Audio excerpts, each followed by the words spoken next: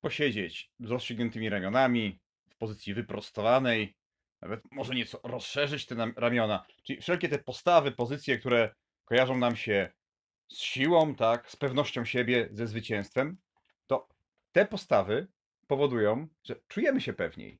I nie jest to tylko nasze subiektywne samopoczucie, ale jak wykazują badania tej, widzicie w tle tą osobę, która prowadziła te badania, Amikady, i badania wykazują, że tego typu postawy sprawiają, że mamy wyższy poziom testosteronu, niski kortyzolu. Co to oznacza? Testosteron, czyli tak się mówi potocznie, te testosterony, prawda? Ci pewni siebie, waleczni, okej, to jest jeden aspekt przywództwa, ale też chcemy, żeby drugi aspekt przywództwa, czyli poczucie dystansu, wyluzowania był na dobrym poziomie, czyli żeby hormon stresu, kortyzol z kolei był na niskim poziomie. No i przy postawach siły mamy wysoki testosteron, niski kortyzol. W związku z tym dwie minuty ćwiczeń przed spotkaniem, przed wystąpieniem, dwie minuty ćwiczeń po prostu stania w pozycji siły, z tego co widać z badań, wpływają na to, że będziemy się czuć pewniej i spokojniej, będziemy tak postrzegani i będziemy pewno skuteczniejsi. Także zalecam przed kolejnym spotkaniem, kolejną konfrontacją, wystąpieniem, że dwie minuty siedzenia, stania w pozycji siły i to prawdopodobnie